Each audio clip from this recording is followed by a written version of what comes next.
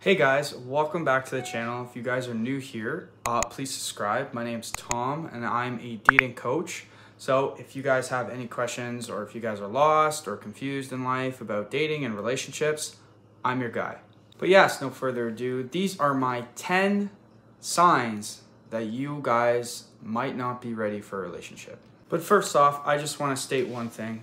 I just want to say that the most beautiful relationships come to you when you least expect it. And the love of your life will walk into your life unexpectedly. And it's just the fact of life. The greatest things happen in life unexpectedly. So, anyways, let's move on to number one emotional availability. Now, have you guys ever heard of manifesting? Okay. I wouldn't say that I'm right into it, but I do believe who you are is who you attract. And dating isn't black and white. Do you find yourself struggling with intimacy, lack of connection, commitment? These are key factors you have to consider when wanting to build a relationship. And if you find yourself struggling with any of these things, these little things, it's okay to step back and work on yourself. Which brings me to number two self awareness. Do you have a good understanding of yourself? Do you know your morals and values? More importantly, do you know what you're looking for in a partner?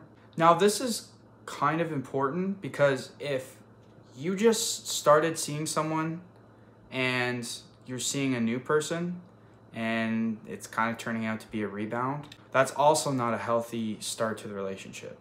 Because if you go into a relationship with any emotions like bitterness, angriness, uh, maybe opinionated or judgmental, just not in a healthy mind frame, there's just going to be a lot of negative potential effects with this relationship and moving forward. You need to have a happy, healthy outlook when it comes to dating. And you need to be aware of that. Because, like I said earlier, you are who you attract. Which brings me to number three Have you healed from your past relationship?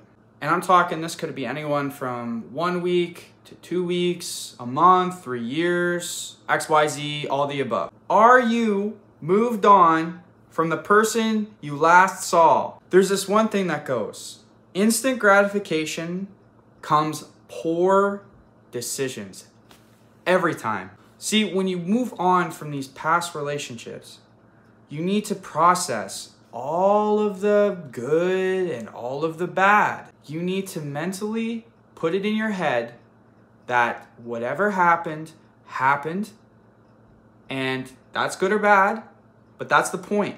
You need to accept bad things happen, but so do good things.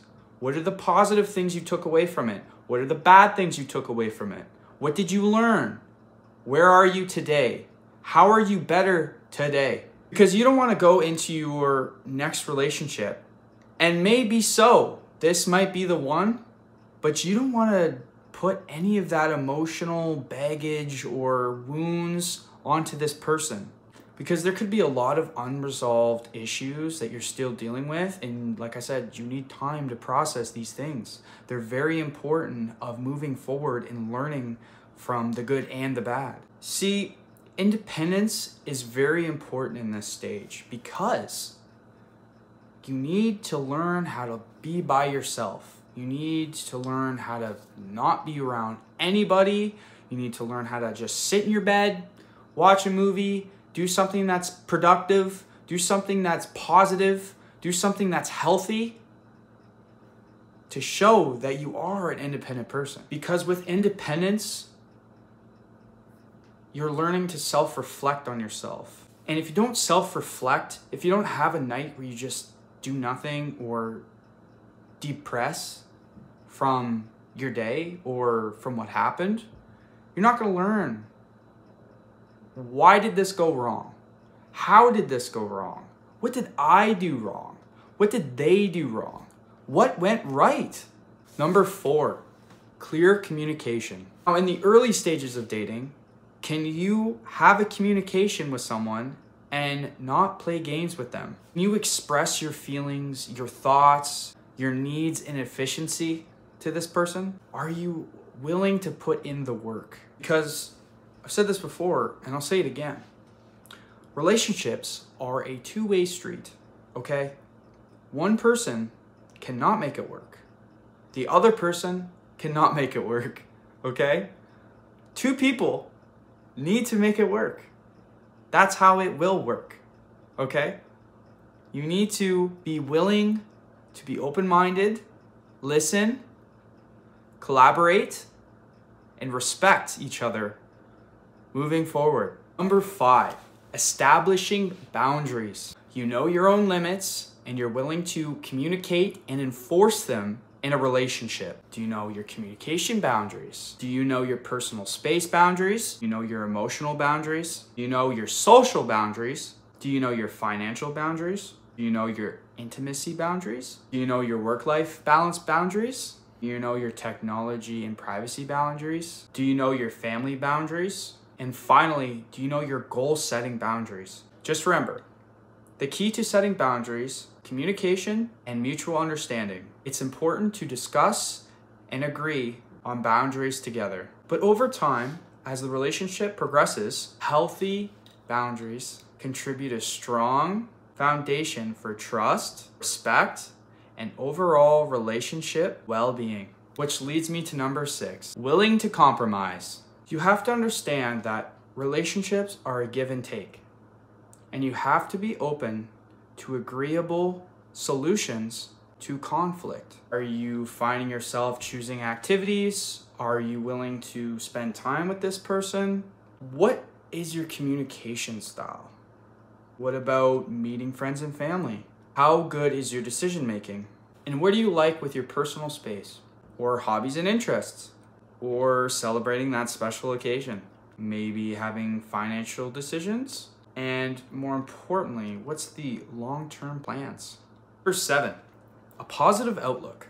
Now, I kind of mentioned this in one, but this is more in detail. You have to approach a relationship in a positive outlook to know if this relationship is going to be good moving forward. Is it going to have the potential to grow and find happiness together? Like, are you willing to go meet people, build connections, learning from experiences, discovering shared values? Are you willing to have that fun and enjoyment in life? Are you willing to build confidence? Are you open to possibilities? And finally, are you gonna appreciate different perspectives?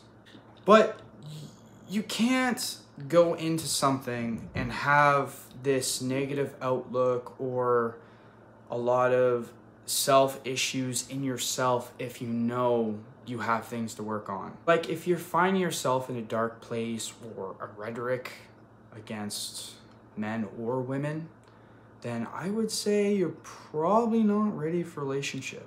Number 8, healthy lifestyle. Now I feel like this one's pretty obvious because you want to be the best version of yourself. Fun fact, it actually shows that people who exercise are 10% more happier. But you're taking care of your physical, your emotional, your good over well being, and you're not seeking a relationship just to fill a void. And you want to work out because it's the good thing to do. You want to look good, you want to feel good. It's not just going to make you look good, it's going to make you feel good. It's gonna give you confidence. And I don't want anyone telling me that I don't have time. You have 24 hours in a day, okay? Let's say you sleep for 10 hours, okay? You still have 14 hours to do some exercise. So stop lying to yourself and go to the gym. Number nine, the desire to connect.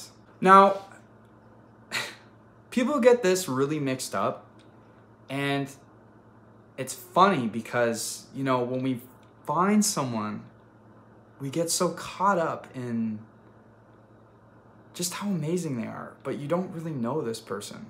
So how can they be amazing? Like people can have good chemistry but can you truly connect with this person? And i mean like on a deeper level like can you guys connect or can you find yourself connecting sharing experiences on a genuine level and supporting this person with your goals and your inspirations. You need to be mentally checked in for these kind of things to have a healthy, good relationship.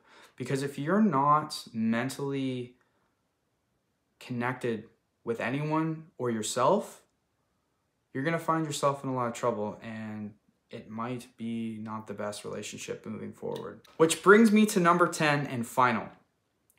Do you have a stable life situation? It is important to have a relatively stable, balanced life with manageable stressors and responsibilities. But do you have financial stability? Have emotional well being? Have good, clear communication? Do you have a healthy lifestyle? Do you have a good work life balance? Do you have any personal growth and development that you spend on your spare time? Do you have a healthy, good living environment? Do you have plans and goals for the future? Do you have good conflict resolution skills? And are you reliable and are you a responsible person? More importantly, are you accountable? If you are, all these things and you really considered that I check all these boxes, then I would say you are good for a future, healthy, happy relationship. But these are my top signs that you are ready for a relationship and you just haven't found the one yet. Sad face. But don't worry, guys. There is time. You will find that special person. If you are these things, and you check all 10 boxes, they will be coming around the corner anytime soon. I promise you that. And who knows, maybe you're talking to that person right now.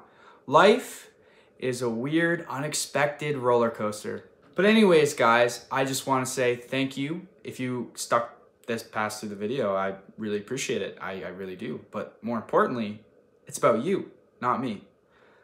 But thank you guys. Um, if you haven't yet, subscribe, give me some love. I do appreciate it. I am Thom, your dating coach, and I will see you on the next one, guys.